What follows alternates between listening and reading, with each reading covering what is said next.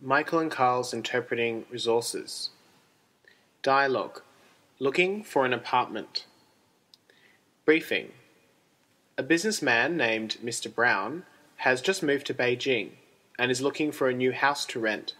He is having a discussion with Mrs. Lu, a Mandarin speaking real estate agent. End of briefing. Dialogue starts now. Olá, como posso ajudá-lo hoje? Hello, my name is Gary Brown. Nice to meet you. I've just moved to the area and I'm looking for an apartment to rent. I've been trawling through online classifieds, but haven't had much luck.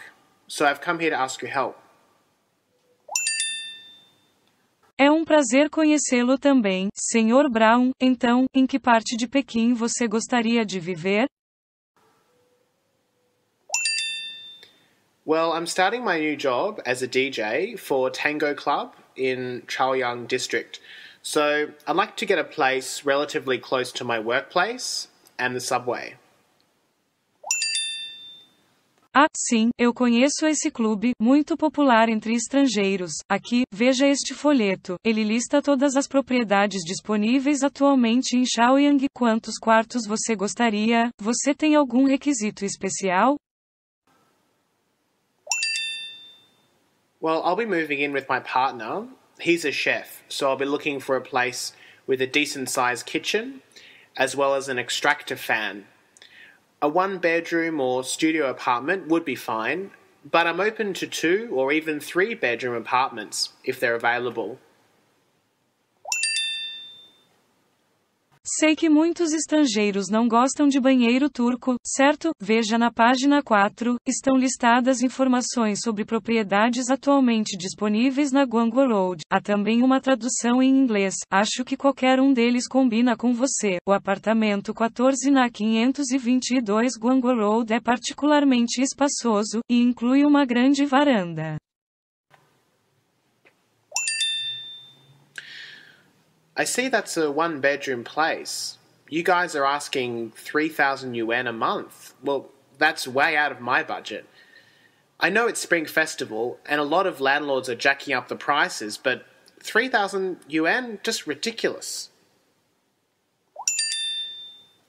Shaoyang é um distrito caro, com certeza, mas dê uma olhada no 755, apenas 2.200 yuan, e foi recentemente renovado, até tem uma lareira. Hmm. Well, I noticed the kitchen's pretty big too. Uh, does it have any amenities? Tem ar-condicionado, academia e lavanderia, internet sem fio também está incluída. When was the building built? I rented an apartment in Macau last year that was built somewhere in the 1980s. I had to deal with bugs, a dodgy smell in the room, and an elevator that only worked until midnight. You can imagine coming home after a night shift and having to walk 10 flights of stairs. That was really not fun. Isso não será um problema. Este prédio foi construído em 2001 e o elevador funciona 24 por 7. Well, that's good. Well, I'm guessing then that the utility bills are extra. And how about the bond? How much is that? Isso mesmo, os inquilinos pagam por sua própria eletricidade, água e gás. Quanto ao calção, são três meses de aluguel mais um mês de depósito de segurança quando você assinar. Esta é uma prática padrão em toda a China. De qualquer forma, acho que este e o apartamento ao lado ficariam bem em você. Ambos têm cozinhas grandes com quatro queimadores de gás e um forno. Deixe-me dizer-lhe, Sr. Brown, este tipo de instalação em Pequim é um achado raro. Okay, that sounds fine. I'll be happy to organize an inspection for whenever the landlord is free. End of dialogue.